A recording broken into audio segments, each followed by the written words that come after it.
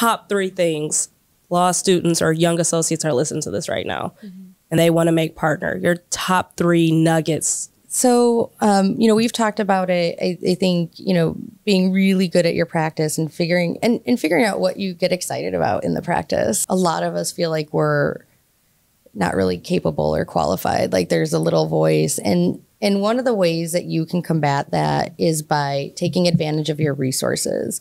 The second piece is maintain your relationships. Sometimes it's just maintaining good relationships with your classmates who you're graduating with and grabbing lunch or dinner with them. Maintain those relationships because I think they're helpful in realizing that a lot of us are going through a lot of the same things at the same time in our careers. And so it can be helpful to know you're not alone. And then the last thing is don't lose sight of the things that help keep you grounded and focused and fulfilled if you like to read books, figure out how to read books. If you like to play a sport, you know, find a way to do that. If you can focus on those three things, then the rest of it won't seem as overwhelming.